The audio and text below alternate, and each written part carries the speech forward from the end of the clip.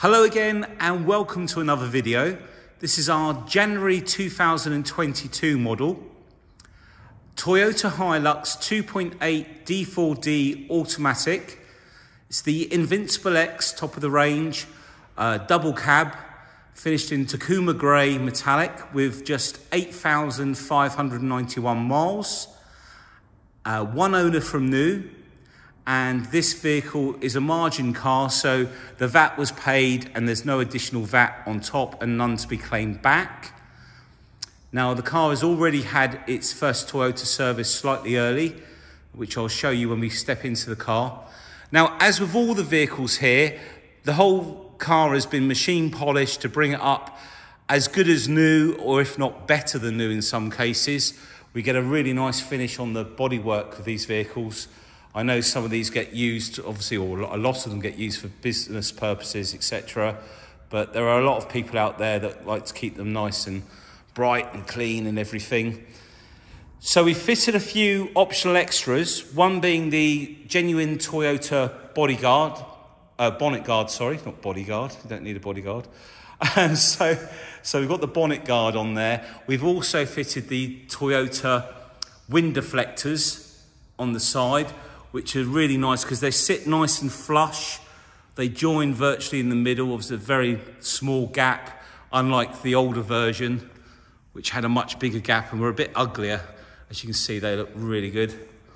Now, if I bring you up onto the bonnet, there are no nasty marks, there are no chips or nothing that I can see on there. I think there might, was that? There's one tiny little chip that we've touched in and I'm zoomed in quite close on that, but it's, it sort of disappears as you come out.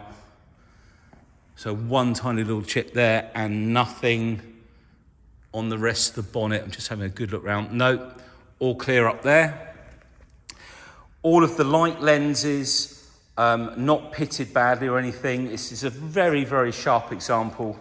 We've got the front parking sensors, LED fog lights, all of the trim on the front there in really nice condition. And um, we've got the 360 cameras, of course, on these later ones. And that badge also acts as, I think, one of the radars for either the cruise control or one of the features on the car.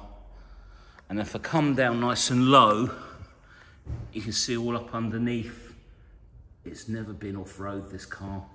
The gentleman that we purchased the car from um, basically um, did construction engineering and he said all I've ever done really is put my boots and my briefcase in the back to go and uh, have a look on sites and uh, it's not had any hard use at all and you'll see that when we go inside the vehicle. Now we've also got the side steps. They're not scuffed at all. If I come down low and just bring you all the way along, there's no scratches on there we look down the side of the vehicle, there are no ding dents, no scratches, no chips. I will show you this view from the back as well, because there's a lot of reflection. Let's just come around and show you this side actually while we're here. So if I come down nice and slowly, you can see the reflection of the panels as I come down. And the wheels are absolutely mint, no damage on the wheels.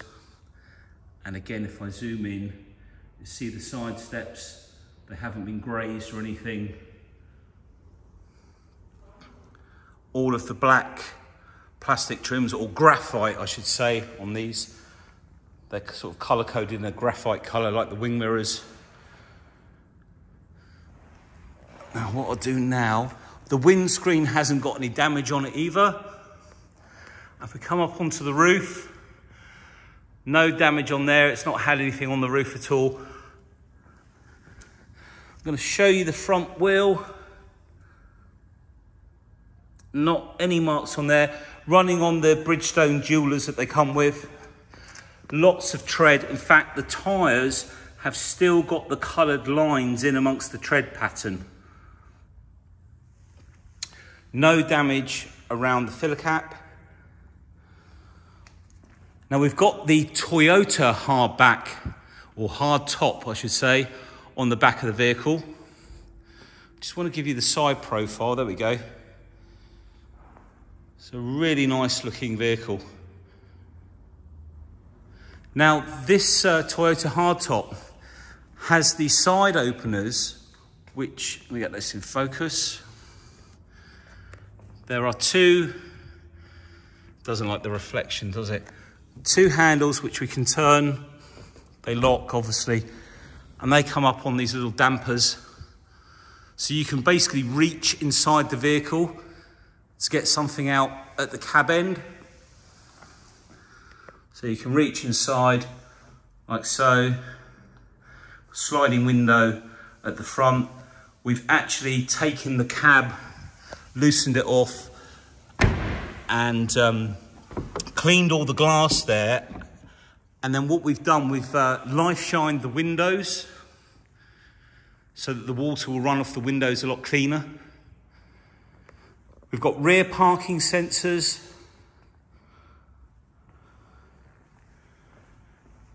Obviously, all of the rear glass is tinted. Now, these Toyota hardtops are quite expensive. I think between like three, three and a half thousand pounds, a lot of them. So it's a really nice added bonus to have on the car. We look at the top of the bumper, you can see no damage on there at all and the tailgate. These are all the areas I know where to check because quite often there are scratches and stuff, but look at that. It's absolutely lovely. And then we can open up the back like so. I just show you, this is really just like new. Look, there's no scuffs, there's no scratches. It's just like the day it was fitted and then you can see the interior. It hasn't got, um, on this particular top, it's like, um, it doesn't have any carpet in there or any vinyl that they quite often get ripped. So it'll all stay nice and clean. It's easy to wipe out as well. And then we've got the Line-X.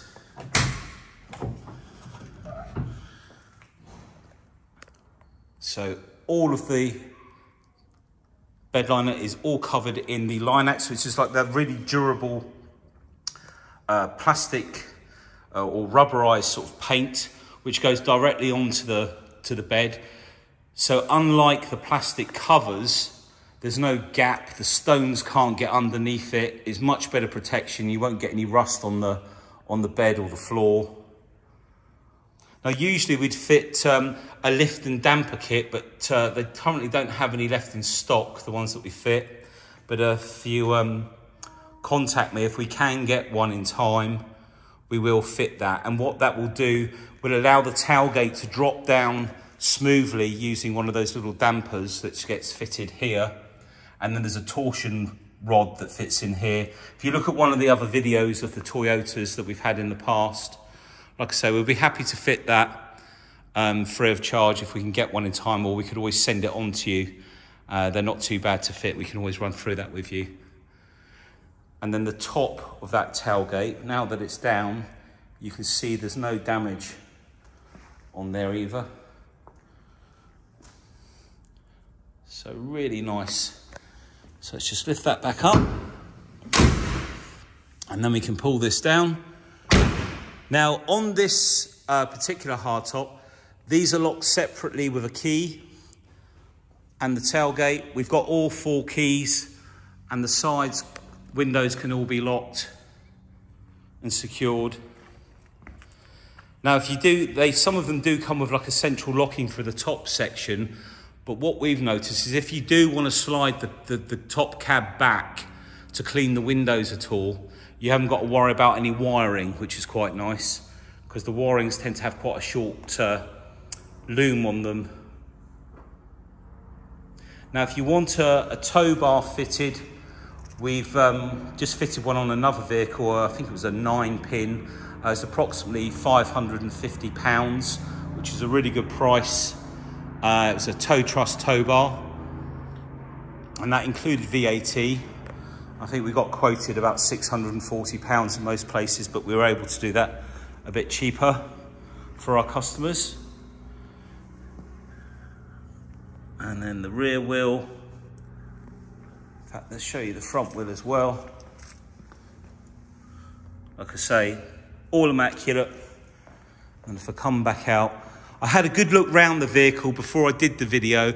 There were no marks to point out on the paintwork or any of the trim. There's nothing on the wing mirrors. Oh, there was one little chip actually. Tell I, I did see, and we've touched it in. There was a, a little, let's get this in focus. Sorry about this.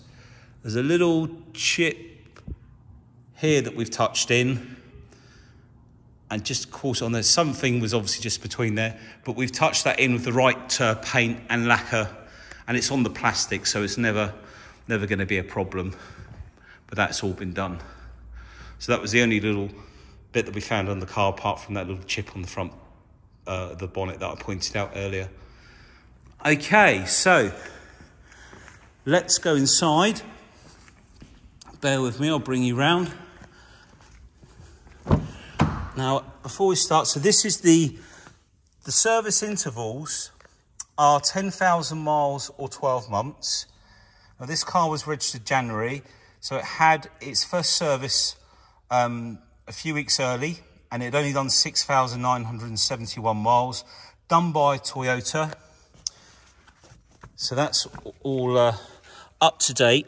Now, if you keep the service history up with Toyota, they'll warrant the car up to 10 years. So after 2021, it was a three year warranty, not a five, but extendable up to 10 years. So as long as you keep the service history with Toyota, and they're usually pretty fair with their servicing, then uh, this vehicle will go 100,000 miles or 10 years. So that's nice to know how much they believe in their product. I'm just showing you this door card. Again, you'll notice there's no scratches in this light with the camera. I can tell you if there was a, a little mark on there, you'd see it because the reflection shows very differently on camera. So nothing on there. All the side plates are in really good condition. You get some tiny little scuffing on the edge. That That's what they're there for, basically. And they're easy replaceable. We've got a full set of rubber Toyota mats in the vehicle. You've got an additional cubby hole up here. I'll show you the leather seats. Not a scratch or a mark. All the headlining, beautiful condition. Just show you the seat from this side. Center armrest, all around the gear lever, etc. Look at the finish in there, there's no scratching. And on the later version, they changed the climate control. So this is a dual climate control. So that was one of the other changes as well as the 360 cameras. Because we've all additionally got cameras up under these wing mirrors, you see, to give you a bird's eye view when you're parking of the vehicle. Let's take a look in the back. Again, the door card, unmarked, all the way down. And if we look at those shots, let's just keep this in focus. So much to do when you're doing a video, remembering what you're talking about, trying to keep the camera in focus, or the phone as I'm using. But it does a pretty good job. And then these rear seats, it's a bit hard for me to on my own, but these are split 60-40 and you can lift these base, in fact I might be able to show you, this base comes up and then with that little tag there, you can hook that round the headrest pillars and it will hold it up so you can fit stuff in the back of the vehicle. And the other one comes up separately so you can do one side or the other, the wider side or the narrower side, if you want to call it that the 60% bit or the 40% bit. Center armrest as well with cup holders. Let's get that back in focus. All nice and clean, no damage. And if I just show you all the plastic trim in here and the back of the seats, no scratches or anything. Okay and we've done all the filler cap, we've done around there, so that's uh, move round to the driver's side rear. Start with the door card on this side. Again, no damage to point out. Door shuts. The light's different on this side because the uh, skylight's above with the sun going down. Was a bit more orangey. Whoops, sorry. And again, back of the seat, no damage. All the mats, and uh, all underneath the mats, all the carpets are absolutely fine. They're in really nice condition. They've not, they're not dirty or marked or worn or anything like that.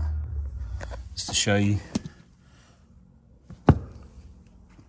Okay, so driver door and all of the door edges all the way around the vehicle are like so. There's no um, chips on the edges of the doors. There's no scuffing around the mirrors. Sorry, around the handle. Now, it's keyless entry, so you can lock the vehicle. You didn't see it, but the lights flashed on the wing mirrors. And unlock it as well. Just turn the lights off. Driver's door card. Just get this back in focus. Like I say, the lights coming through the skylights over here. There we go. No marks on there. Nothing on the edge. Let's just get that back in focus. There we go. And then you've got, uh, they're all lit under the doors. And then, if I can get it, you've got the electric folding mirrors as well. And we've got the premium JBL sound system in the Invincible X, which has got a, a lot of depth to it. We've got additional speakers up here. If I can just come in. So you can drive a pickup and still listen to your music with a good system rather than it sounding quite hollow. Now the driver's seat also is fully electric. The passenger side is manual, but this one's got the high backwards and forwards and the recliner. Just look at this seat, all the perforated leather, all in really nice condition again. In fact, while we're here, it's probably easier to lift this up. And there's um, I can't remember how many watts, but there's an additional plug in there. You might be able to see that 100 watt. Close that down. Now we've got some, um, on these later ones, there's some additional buttons down here. So top left, we've got power heat. That'll preheat the um, car, will basically warm up the car a lot quicker. It brings the idle up to bring your fan um, up to temperature, etc. We've then got the parking sensor button, and then we've got the camera view for 360. And then the bottom right is for when the vehicle is doing a DPF clean, which it shows you on the dash, which is really um, clever because a lot of cars don't. It shows you like a graph on the on the dash. If it hasn't completed the DPF clean by the time you've finished your journey, let me get this back.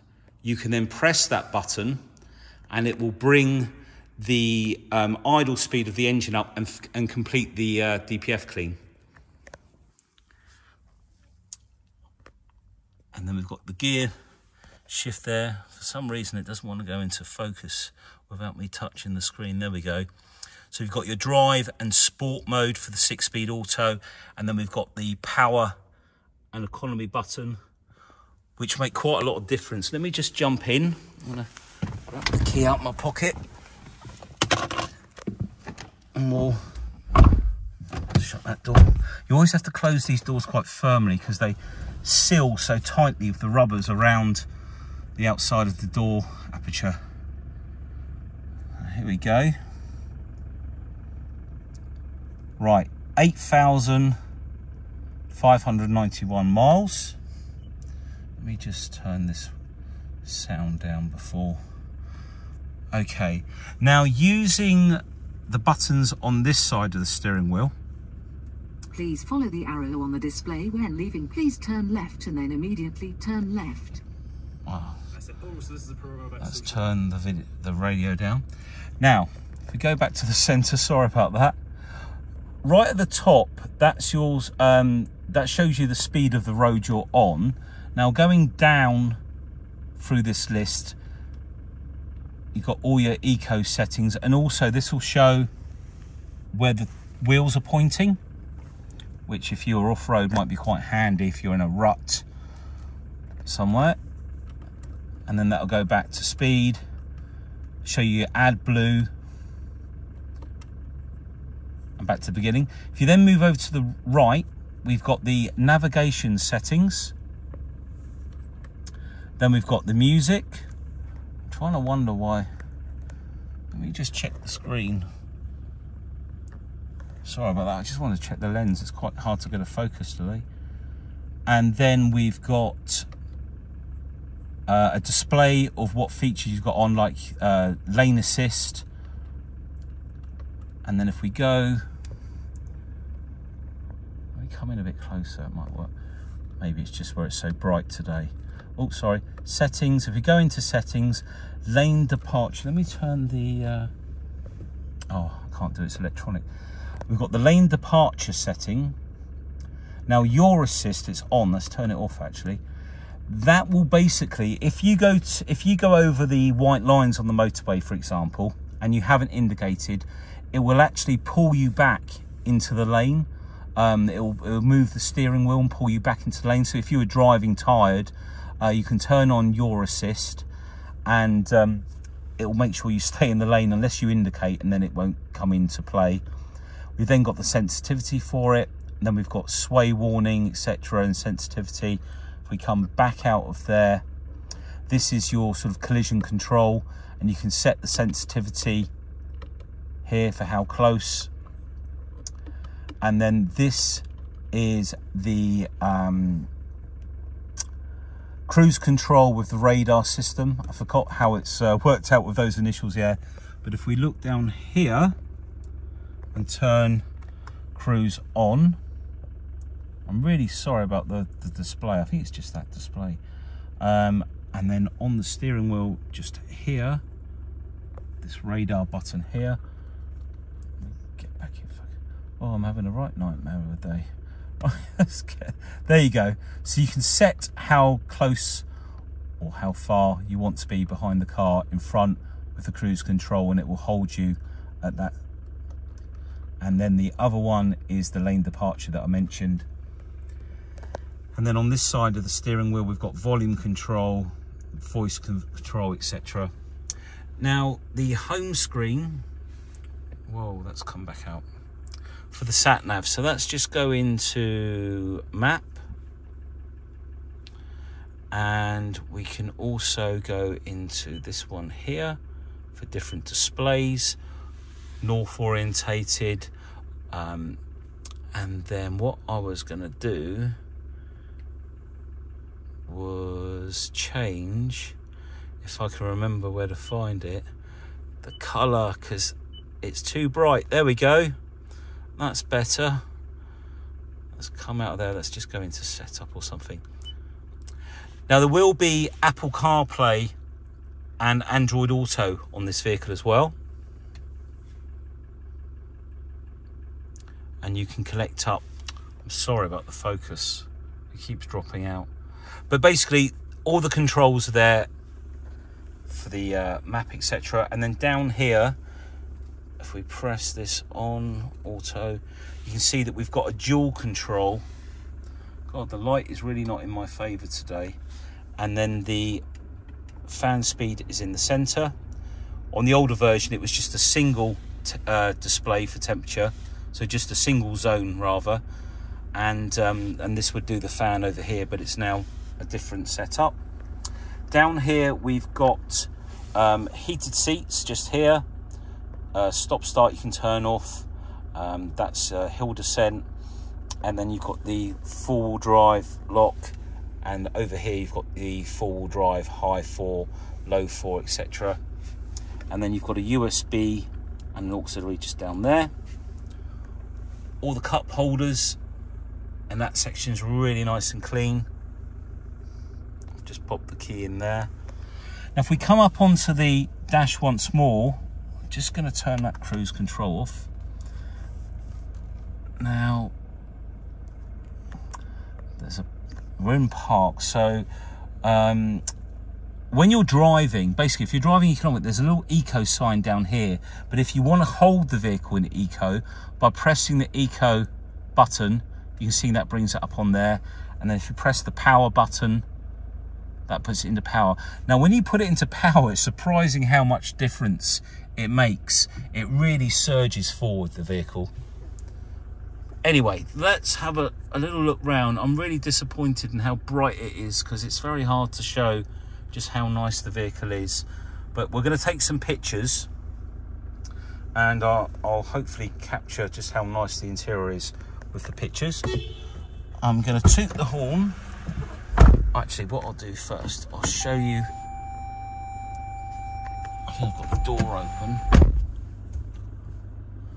He's just going to pop the bonnet for me, but I wanted to show we've got different views of the cameras. You can change the markings, so you can see all the way around the car. You see the front. Now that's looking at the back, and there is one looking at the front. Is it when I press? Bear with me. That's the back. Ah, oh, I know what it is. When you put the vehicle into drive, it will actually show you out the front of the vehicle as well. There we go. So, Darius is just going to lift the bonnet for me. I'm just going to turn the vehicle off. Thank you, Darius. So I just wanted to show you under the bonnet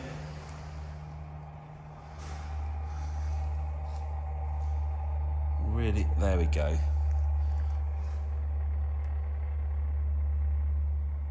Maybe I need to move a little bit slower.